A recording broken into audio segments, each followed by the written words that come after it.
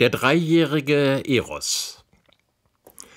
Keines der Götterkinder wurde auf dem Olymp von allen so geliebt wie der dreijährige Eros, der Sohn Aphrodites.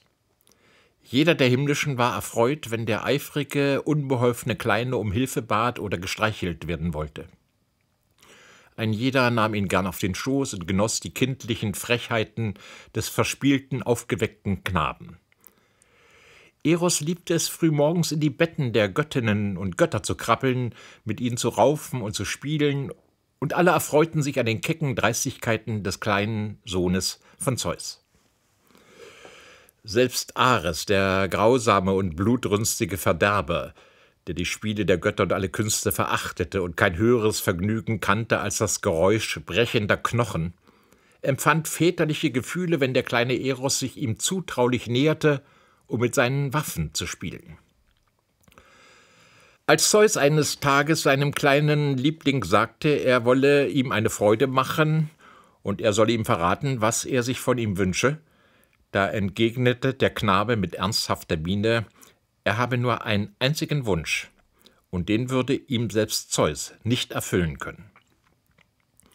Zeus erwiderte, dass es für ihn, seinen Vater und den Herrscher über alle und alles, nichts gebe, was er nicht vermöge, und wenn sein Wunsch keinen der Götter verletze und weder den Himmel kränke noch die von ihm geschaffene Welt, so werde er ihm diesen Wunsch erfüllen. Eros lachte vor Vergnügen laut auf und ließ seinen Vater schwören, dass er sein Versprechen halte, denn keiner im Olymp und auf Erden werde verletzt oder gekränkt.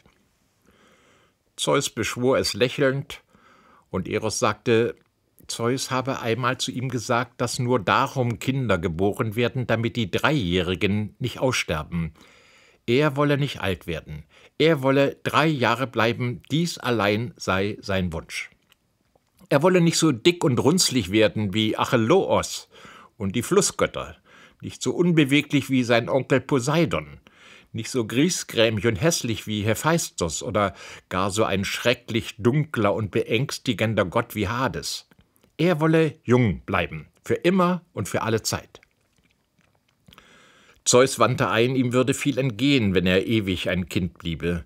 Er würde nie erwachsen werden, würde niemals Macht und Verantwortung haben und über die Welt und die Menschen herrschen. Doch Eros erwiderte, dass er für nichts verantwortlich sein und nichts befehlen wolle. Wenn Zeus wirklich so mächtig sei, wie er sage, so solle er ihm die ewige Kindheit schenken. Du willst für immer drei Jahre alt bleiben? fragte Zeus verwundert. Für immer und alle Zeit, sagte Eros. Du wirst nie die Liebe kennenlernen, mein kleiner geliebter Eros, die schönste Erfindung des Himmels. Du wirst nicht erwachsen und wirst nie mit einer Göttin oder einem Gott, einem Mann oder einer Frau zusammen sein, um diese Göttlichkeit zu erleben. Um mit einem Mann oder einer Frau ins Bett zu gehen, muss ich nicht erst erwachsen sein, wandte Eros ein. Ich komme in jedes Bett hinein. Bei jedem und bei jeder. Mich hat noch nie einer hinausgeworfen. Zeus lachte auf. Du verstehst mich nicht, mein Liebling. Du kannst mich nicht verstehen, denn ich spreche von einer Liebe, für die du noch zu klein bist. Erst wenn du erwachsen bist, wirst du eine Frau oder einen Mann auf die göttliche Art lieben können, und nie wirst du dies erfahren, wenn du ein Kind bleibst. Eros erwiderte, er liebe alle und alle würden ihn lieben und dabei solle es bleiben. Oder kannst du es nicht, Papa? Bist du doch nicht so allmächtig, dass ich für alle Zeit jung bleiben kann? Schweren Herzens entschloss sich Zeus, sein Versprechen zu halten und erfüllte den Wunsch des Kindes, ohne zuvor mit Aphrodite zu sprechen. Die Mutter des kleinen Gottes war erschrocken, als sie hörte, dass ihr Liebling für alle Ewigkeit ein Dreijähriger bleiben werde. Doch bald gefiel ihr der Gedanke, ihr geliebter Eros werde sie nie verlassen, sie könne ihn für immer bei sich behalten und stets für ihn sorgen. Sie küsste ihren Sohn und sagte, sie wolle ihm für diese unaufhörliche Kindheit ein unvergängliches Spielzeug schenken. Er möge sich von ihr wünschen, wonach immer ihm gelüste.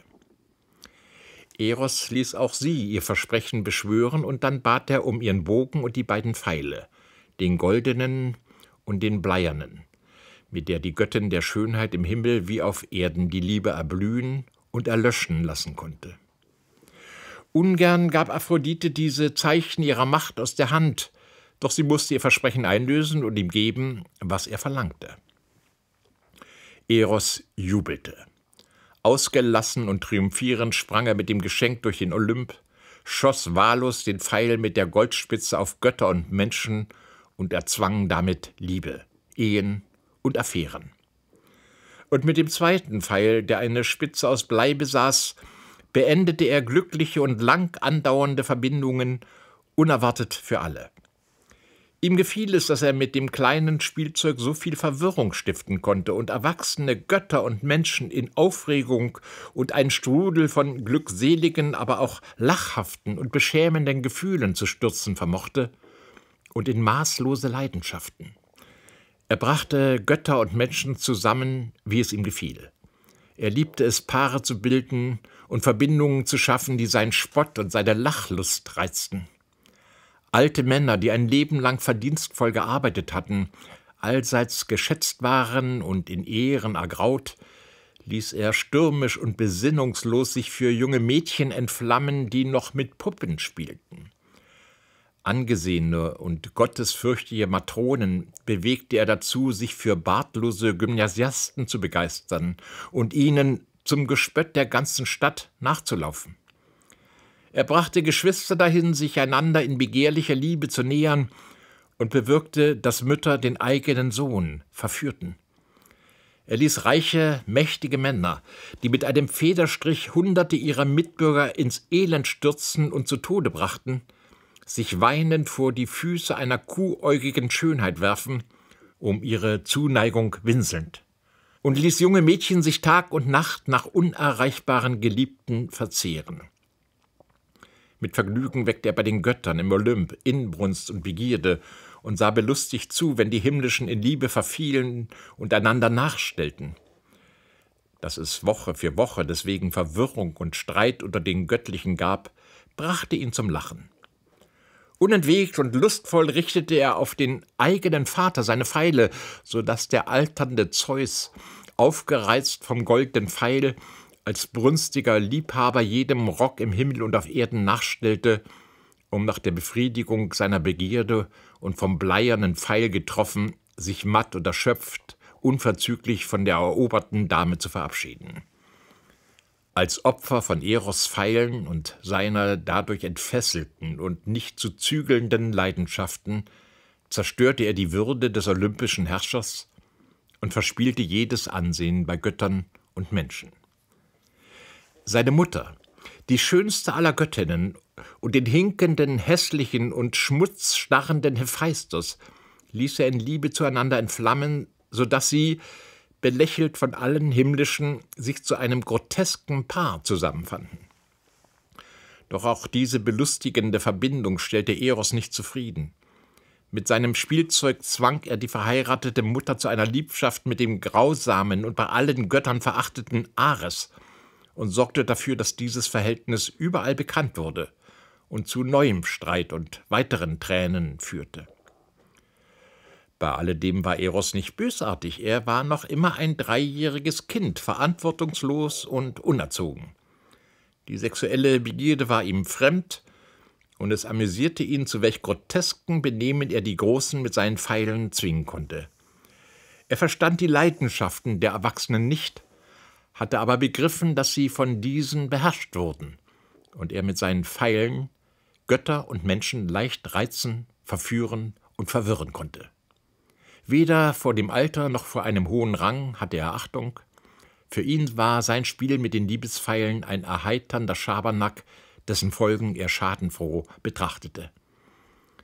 Die von ihm Gemarterten verfluchten und verdammten ihn, wenn sie durch Eros Attacken in für sie fatale Geschichten verwickelt wurden. Doch verliebten sie sich bald erneut und mussten immer wieder und immer aufs Neue den Launen des dreijährigen Sohns der Aphrodite folgen.